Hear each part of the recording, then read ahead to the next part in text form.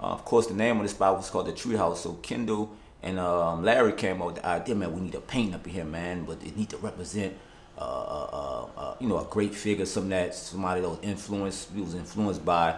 Um, then we came up with the idea. Once they sat down, they came to me with the idea as far as, man, we're gonna do Jay Z, and then we want that, we want a little twist with it, man, with the trees. And when they came up with that idea, Kendall was like, man, you know what? There's only one person I feel like could really execute that it could go, man. It's, it's, it's, it's my partner, Jerin. So they reached out to me. We sat down. I sketched it up.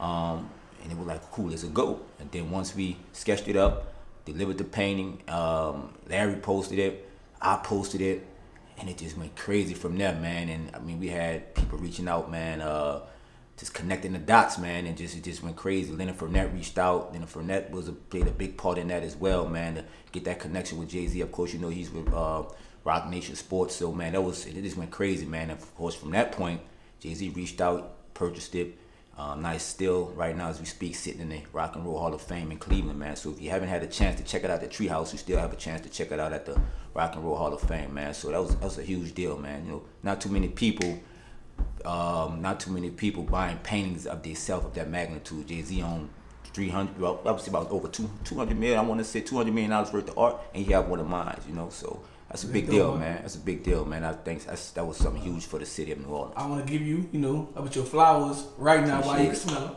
Yeah, appreciate but it. I want to know this question: How long did it actually take to actually paint it?